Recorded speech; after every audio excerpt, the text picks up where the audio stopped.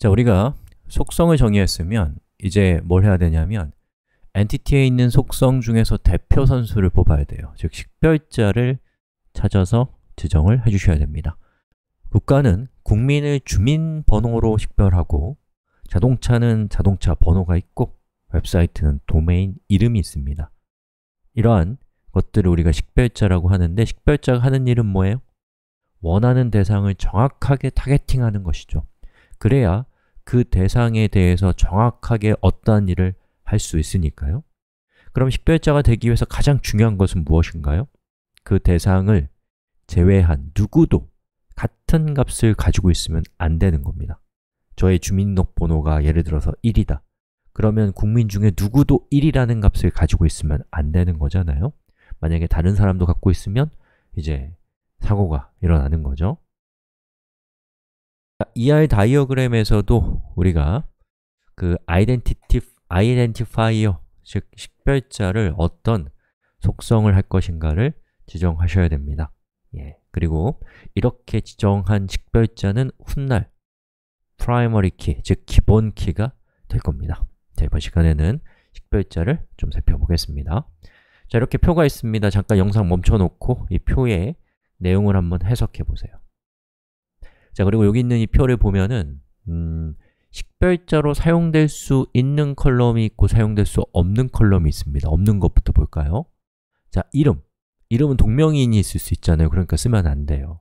도시, 이거는 뭐 그 도시에 사는 사람이 어마어마하게 많을 테니까 얘는 식별자로 쓸 수가 없습니다.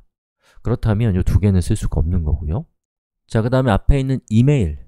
음, 여러분이 만드는 시스템이 이메일이 다르다면 그 사람은 각각 다른 사용자를 주겠다 라고 하면 이메일을 식별자로 쓸 수 있습니다. 하지만 뭐 정부에서 운영하는 시스템이라고 한다면 한 사람이 여러 개의 이메일을 가질 수 있기 때문에 그런 경우는 이메일을 또 식별자로 쓸 수는 없을 수도 있습니다. 그러면 이제 뭐 주민등록번호 같은 그러한 어, 것을 식별자로 쓸 수가 있겠죠. 그런데 이것도 저것도 뭐 마땅치 않다. 그러면 어, 행이 추가될 때마다 자동으로 일씩 증가시켜서 중복되지 않는 값을 부여하는 것을 통해서 식별자를 제공해 줄 수도 있어요. 이러한 식별자는 우리가 뭐라고 하냐면 어, 자연스럽게 만들어진 식별자가 아니라는 뜻에서 인조, 키라고 부르는데 뭐 그런 용어가 중요한 건 아닙니다. 자, 아무튼 그래서 이제 여기 이 우리가 갖고 있는 이 테이블에서 식별자가 될 수 있는 후보들은 이렇게인데 이런 걸 뭐라고 하냐면 candidate key라고 부릅니다. 그리고 이 후보 키 중에서 우리가 선택한 식별자가 유저 언더바 ID라고 한다면 걔를 이제 뭐라고 하냐면 이제 기본 키 영어로는 primary key라고 부르고 기본 키가 아닌 다른 친구들은 대체 키, alternate key라고 그리고 이 alternate key들은 나중에 성능 향상을 위해서 어, primary key는 아니지만 어, secondary index라고 하는 것을 걸기에 아주 좋은 친구들이 됩니다. 자, 그리고 조금 특수한 경우로 중복키, 이 composite key라고 하는 것이 있거든요. 이 중복키라고 하는 것은 여기 있는 표를 잠깐 한번 해석해 보시죠. 자, 이 표는 부서별 직원 명단이라는 표예요. 즉, 어떠한 부서가 있다, 1번이라는 부서가 있다면 그 부서에는 1번, 4번을 갖고 있고 2번, 4번을 갖고 있는 두 명의 직원이 포함되어 있는 거죠. 그리고 여기 보시면 어, 한 명의 직원은 여러 개의 부서에 속할 수도 있잖아요. 요건 이제 그런 뜻이에요. 다른 부서에 1번이 또 속해 있는 겁니다.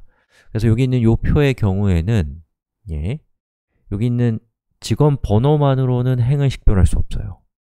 부서 번호만으로도 행을 식별할 수 없습니다. 부서 배정일은 말할 것도 없고요. 자, 이런 경우에는 직원 번호와 부서 번호 이 두 가지를 합쳐서 식별할 수 있는데 이러한 식별자를 중복키, key라고 부릅니다.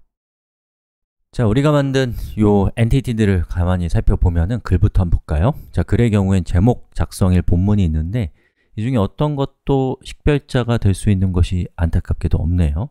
자, 그런 경우에는 우리가 어떻게 한다고요? 예, 자연스럽게 primary key가 될 수 있는, 자연스럽게 식별자가 될 수 있는 속성이 없기 때문에 인조, 예, 그 대리키라는 것을 만들어서 뭐 이런 식으로 글 ID 이렇게 하고 나중에 이제 여러분이 실제로 데이터베이스에서는 auto increment 또 sequence 이런 것들을 이용해서 다른 것과 중복되지 않는 일련 번호를 만드는 방법을 이제 사용을 뭐 하시게 되겠죠, 나중에. 자, 이렇게 우리가 그 primary key를 지정했다면 이 primary, 얘가 primary key라는 것을 얘가 식별자라는 것을 쉽게 이해할 수 있도록 밑줄을 쳐주시면 됩니다. 이렇게요 그러면 딱 보면 밑줄이 있으면 아, 얘가 아, 그 primary key, 즉 식별자구나 라는 것을 알 수가 있어요. 자, 여기 있는 이것도 마찬가지. 딱히 식별자가 될 만한 자연스러운 키가 없기 때문에 제가 여기에다가 또 댓글 ID라고 이렇게 하고 밑줄 긋고 그리고 연결을 시킬게요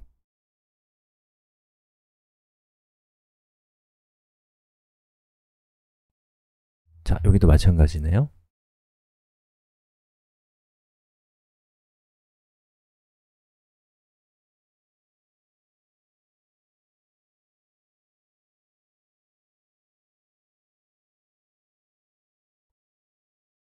자, 됐습니다. 이렇게 해서 우리 각각의 엔티티가 드디어 자신을 식별할 수 있는, 자신의 그 튜플, 즉 행을 식별할 수 있는 컬럼인 식별자 컬럼을 갖게 되었습니다. 여기까지 하겠습니다.